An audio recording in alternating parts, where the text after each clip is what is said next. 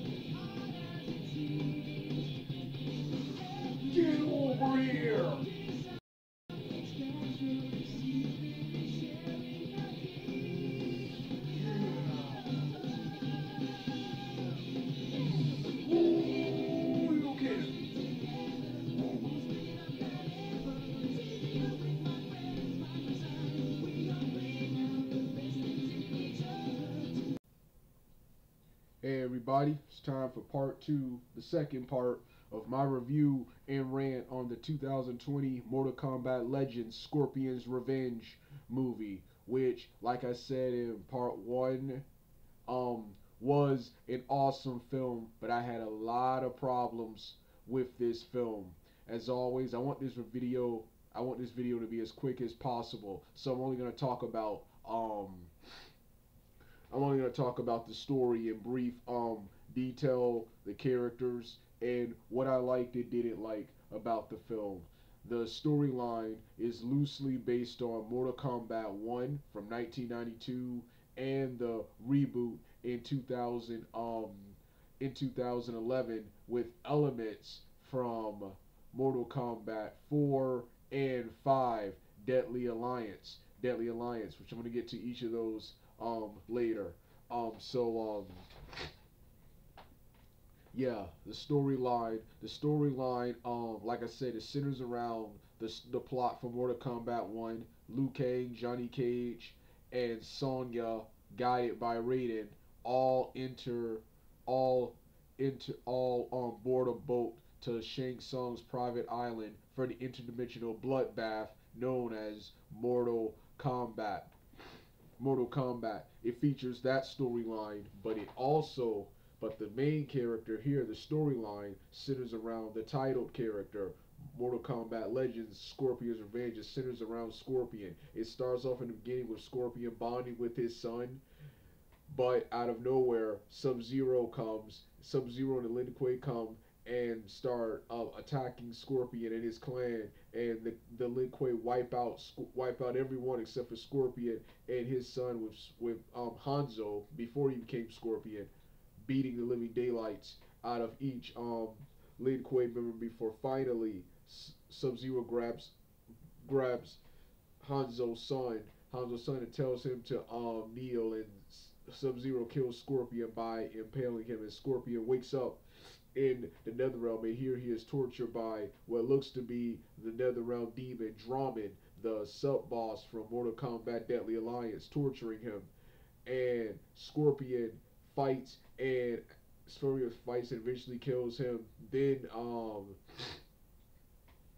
then he attacks Quan Chi. Quan Chi easily defeats him with his sorcery, and he gives Scorpion an ultimatum to um, help him retrieve a mysterious amulet amulet in exchange for Scorpion getting revenge on Sub Zero, who will be at the Mortal Kombat um, tournament. So the so the um storyline mostly consi- mostly revolves around Scorpion, who is the major star of this um movie. The gang board the um the gang the, the gang board the island and Johnny Cage Johnny Cage believes this. Um, Johnny Cage believes this whole thing is one big movie. Liu Kang is pretty much like his video game counterpart. He wants to enter the tournament to prove. He wants to, he wants to enter the tournament because it's his destiny to defend Earthrealm from the forces of Outworld. And Sonya, um,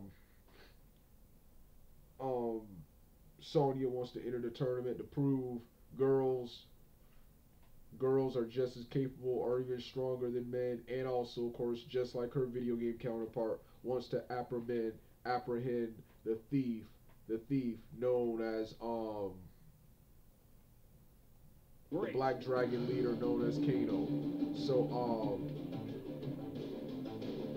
so um yeah the um the tournament starts off with Jax being immediately captured just like his Mortal Kombat 9 counterpart, his Mortal Kombat 9 um, counterpart, and in order for him to win his freedom, he has to fight. He has to fight Shang Tsung's reigning champion Goro. Johnny Cage, near I mean Jax, Jax, Jax um, is easily defeated by Goro, who proceeds to rip off both of his arms. Before he can kill Jax, Raiden comes in and stops the bleeding by healing Jax, by healing um, Jackson, everyone then is transported to the island where multiple battles take place. Johnny Cage narrowly survives and defeats Baraka. Sonya defeats what looks to be Reptile, and Liu Kang defeats various um various Black Dragon before they all meet um Scorpion and try to form an alliance. Scorpion wants no part of it and tells the um tells the um Mortal Kombat characters they have no hope of winning and to hide before it's over. Liu Kang doesn't want it. Oh yeah, Liu Kang also fought fought and defeated um, Kitana. I forgot. Fought and defeated Kitana, who's in this movie. And um, wins the tournament ten times, they will have the right to um, with the other. And um, as they see. Sonya goes to rescue um Sonya goes to rescue Jax. Sonya, Sonya and Johnny Cage go to rescue Jax, and Liu Kang takes the fight to Goro. Takes the fight, um, takes the fight to uh, Goro, and um, Scorpion does battle with Sub-Zero, and Scorpion defeats Sub-Zero by impaling Sub-Zero and himself on a giant ice pillar, with Quan Chi coming out, mocking Scorpion, telling him he is weak. He gave him one job and he failed. And then he, Quan Chi reveals that he used his sorcery to disguise himself as Sub-Zero to kill his family, and and um leaves. Meanwhile, Liu Kang takes the fight to um, Goro and first appears to be winning, easily evading Goro's attacks and hitting him with multiple blows. But Tsung warns Goro to stop playing and Goro overwhelms Kang, tossing him around, then grabbing him and preparing to rip him apart the same way he ripped up, ripped up, ripped apart Jax's arms. But before he could finish him, Scorpion comes from behind and hits Goro with a with a get over here, with a get over here then um, killing him, impaling him, killing him, and then prepares to fight Liu Kang. Prepares to fight Liu Kang, and Shang Tsung promises Scorpion that if he defeats Liu Kang, Quan Chi, who Shang Tsung earlier caught, caught trying to betray, trying to steal the amulet to release the Elder God Shinnok, Quan, um, um, Shang Tsung, Quan Chi is uh, will be Scorpion. Scorpion instead, instead chooses to um teleport and grab Shang Tsung and forfeit. Thus, Liu Kang is the winner of the tournament, and every and Shang Tsung escapes. And because the island was held together by Shang Tsung's existence, the island begins crumbling. Liu Kang, Johnny Cage, and Sonya and Raiden escape while Scorpion stays behind and does battle and kills Quan Chi and, and um, joins his family in the afterlife in the post-credit scene, well not really post-credit, the final scene as Shao Kahn torturing Shang Tsung and tell Shang Tsung to get to Shang Shang to get Kahn's forces ready for Outworld invasion, teasing a sequel. And the film ends there. So like I said, um, an awesome film. I think it's best you let me go. Awesome um, film. What I didn't like, I like each character in the film. Um, I like each character in the film. I like how he finally did Scorpion justice in the film Scorpion outside of the video game lore has been done terribly, especially in the 90s adaptations of Mortal Kombat. They finally got him right. He, but one thing I didn't like, he was too overpowered in this movie. He was never, Scorpion was never stronger than Liu Kang. And Goro also, who was way too powerful, was way, was, um, no, was never stronger than Liu Kang in any version of Mortal Kombat. Then you had, um, I hated how dumb Johnny Cage was. Johnny Cage supposed to be, is supposed to be egotistical, vain, but highly intelligent and resourceful. And here he was just stupid, dumb, and useless for the first half of the movie. For the first half of the movie. Then you got Sonya, who was like her character, but she was rough, tough, a violent bitch for no violent feminist bitch for no apparent reason. She was all like girl power, girls are capable as men. When that's not what Sonya was about. It was about following and following her father's footsteps following her father's footsteps and becoming a special forces, um, um, serving her country and bringing down the black dragon criminal known as Kano.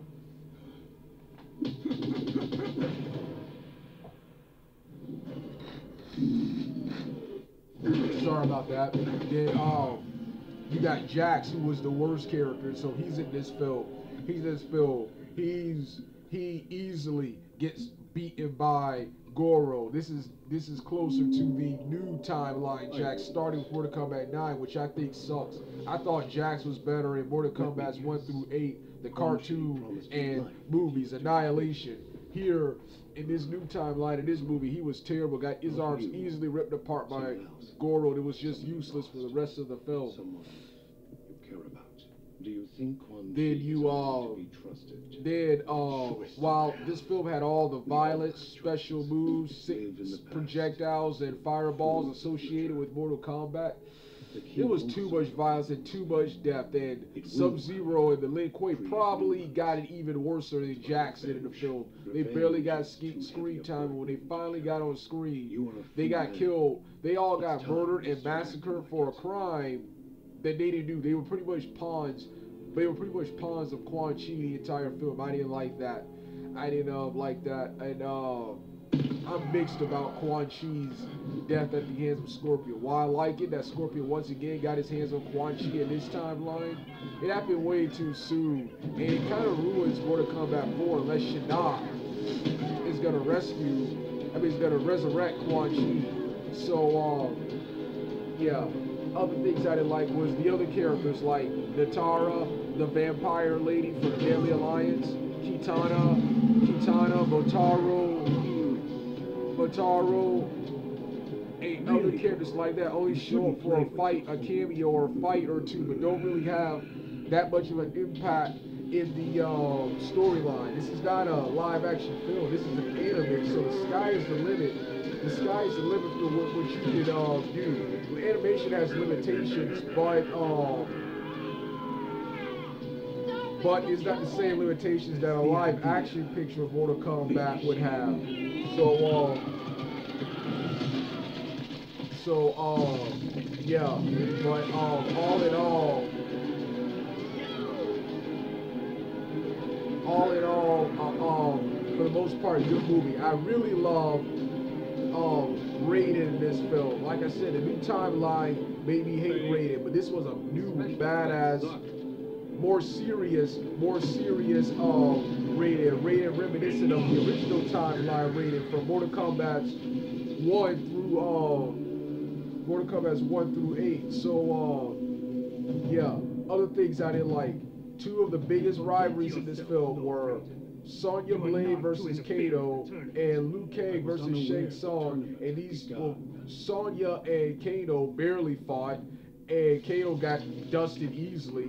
Then you got Liu Kang and Shang Tsung. These two didn't even fight in the film, and that's one of the biggest rivalries Mortal Kombat is centered around three of Mortal Kombat's biggest rivalries: Liu Kang versus Shang Tsung, Scorpion versus Sub Zero, and Sonya versus Kano. And they these were these fights weren't these rivalries weren't showcased and weren't done justice at all in this movie right here, right here. But um.